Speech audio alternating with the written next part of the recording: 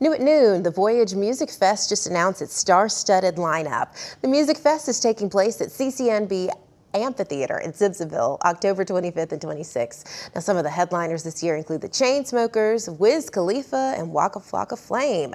This is the second year of the festival. Last year's headliners included Bryce Vine and DJ duo Two Friends. For ticket information and for the full lineup of performers, you can go to our website, wyff4.com.